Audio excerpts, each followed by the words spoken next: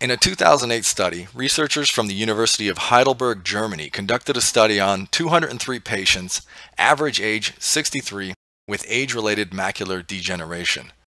10 patients served as controls and 193 patients with and without cataracts received four treatments of near-infrared laser therapy over a period of two weeks. The power of the laser was 7.5 milliwatts. The wavelength used was 780 nanometers, and the dose was 1.2 joules per centimeter squared. The results of the study the treatment significantly improved visual acuity in 95% of eyes with cataracts and in 97% of eyes without cataracts. In addition, patients with a form of age-related macular degeneration called wet age-related macular degeneration had reduced edema and bleeding, so reduced swelling and bleeding in their eyes. Always a good thing.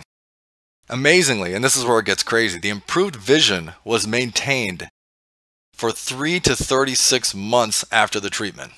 Four treatments over the course of two weeks lasted 36 months or three years. Incredible. So long lasting benefits from red light. Hey, it's Mark. Thank you for watching my video. If you enjoyed it, give it a thumbs up and definitely hit subscribe so you don't miss out on future videos when they come out. Also be sure to pick up my three free ebooks, one on chemotherapy, the other on sodium bicarbonate for cancer and other diseases, and a red light therapy dose guide by clicking the link in the description below. Last but not least, check out one more video on my channel right here, and I will see you in the next one.